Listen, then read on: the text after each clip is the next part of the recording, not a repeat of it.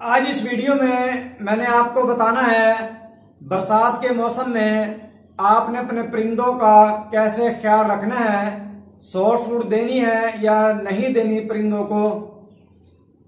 नए आने वाले दोस्तों से रिक्वेस्ट है कि मेरे चैनल को सब्सक्राइब करें, घंटी का बटन दबाएँ, ताकि मेरे नए आने वाली वीडियो का नोटिफिकेशन आपको मिल सके।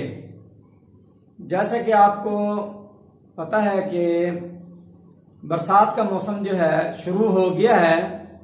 जब बारिशें होती हैं बरसात के मौसम में तो नमी जो है, बहुत ज़्यादा हो जाती है हर चीज़ के अंदर। तो आपने अपने परिंदों को बीमारियों से कैसे बचाना है, मरने से कैसे बचाना है उनसे, कैसे आपने एहतियात करनी है? आपको जो है, चार पॉइंट मैं इसके जो है बताऊँगा। नंबर एक आपने जो है, कुछ कहते हैं शॉर्ट फ़ूड देने चाहिए, इसके अंदर बरसात के मौसम में कुछ कहते हैं नहीं देने चाहिए। शॉर्ट फ़ूड जो है, दें आप, लेकिन उसका तरीकेकार जो है, आप सुन लें किस तरह आपने देने हैं। अगर नहीं इस तरह देंगे तो आपका जो है नुकसान होगा इस तरह। कद्दूकश जो करते हैं शॉर्ट फ़ूड जब बनाते हैं, सब्ज़ियाँ होती हैं तो कद्दूकश करते हैं तो उसके अंदर जो है, पानी जो है बहुत ज़्यादा मिकदार में निकलता है। जब आप कद्दूकश करते हैं, सब्ज़ी को एक और चीज़ होती है उसके अंदर से। और वो जब आप सॉफ्ट फ़ूड बनाते हैं और अपने परिंदों को देते हैं तो उसके अंदर नमी बहुत ज़्यादा होती है। आप सात से आठ घंटे तक रख देते हैं, जिसकी वजह से उसके अंदर जो है बैक्टीरिया जो है पैदा हो जाता है। उसकी वजह से आपके परिंदे जो है बीमार होना शुरू हो जाते हैं। उस पानी की वजह से जो पानी निकलता है, कद्दूकश करते हैं आप जब सब्जियों वगैरह को। तो ये तरीका गलत है, इस तरीके से आपने नहीं देना, इस तरह आपके परिंदे जो है बीमार होंगे।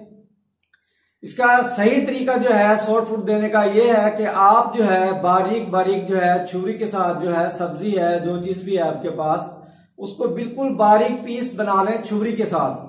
उससे जो है, पानी जो है नहीं निकलेगा और जो है, खुश्क रहेगी वो सॉफ्ट फ़ूड जब आप बनाएँगे और उस सॉफ्ट फ़ूड को आपने डेढ़ से दो घंटे तक जो है परिंदों के पास जो है रखना है, उसके बाद आपने उठा लेना है। सात आठ घंटे तक आपने बरसात के मौसम में नहीं रखना। जिसने खाना होगा वो खा लेगा, डेढ़ से दो घंटे तक उसके पास पड़ा होगा। अगर नहीं खाना होगा, जिसने नहीं खाएगा। जिसने खाना होता है, जब आप रखते हैं शॉर्ट फ़ूड, वो उस वक्त खाना शुरू कर देते हैं परिंदे। तो ये सही तरीका है शॉर्ट फ़ूड देने का। अगर आप सॉफ्ट फ़ूड नहीं देंगे परिंदों को तो उसके अंदर जो है, जो कमज़ोरी हो जाएगी, वो वीक हो जाएँगे। और एक माह के बाद जो है ब्रीडिंग सीज़न जो है, शुरू हो जाएगा। इस तरह जो है, आपके परिंदे जो है ब्रीड जो है, सही नहीं करेंगे। अगर आप सॉफ्ट फ़ूड नहीं देंगे एक माह तक, बरसात के मौसम में, वो अंडे कम कर देंगे, बच्चे अंडों के अंदर मरना शुरू हो जाएँगे, और अंडे जो है साइज़ छोटा हो जाएगा। तो सॉफ्ट फ़ूड आपने लाजमी देना है बरसात के मौसम में। अब आपको नंबर दो में जो बताना है कि पंखा जो है आपने चलाना है बरसात के मौसम में। ब्रेकेट फ़ैन आपने लगाना है परिंदों की कॉलोनी के अंदर।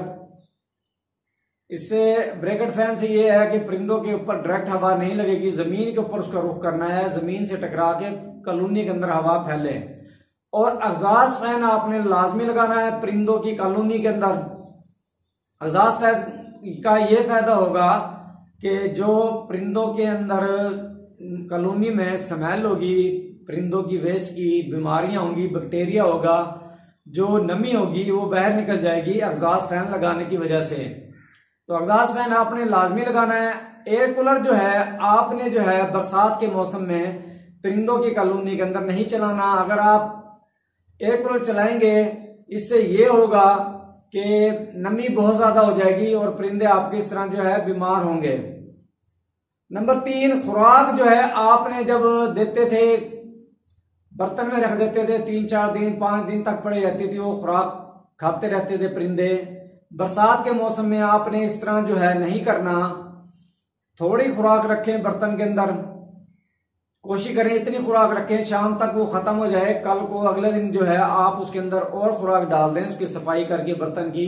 उसके अंदर ना करें, अगर कोई बिठे वगैरह हैं, उसको साफ़ कर लें, उसके बाद उसके अंदर जो है रखें आप खुराक डालें और।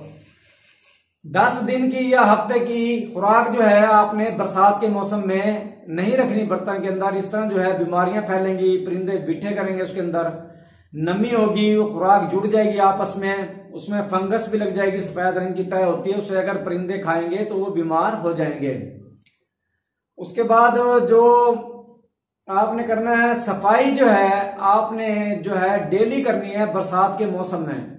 सफ़ाई के अंदर आपने जो है गफलत नहीं करनी है, अगर आप सफ़ाई नहीं करेंगे तो आपके परिंदे जो है इस तरह बीमार होंगे आपने कोशिश करनी है, डेली जो है, सफ़ाई आपने लाजमी अपने परिंदों की कॉलोनी की करनी है। पिंजरे हैं या कॉलोनी है परिंदों की, उसकी सफ़ाई आपने लाजमी करनी है।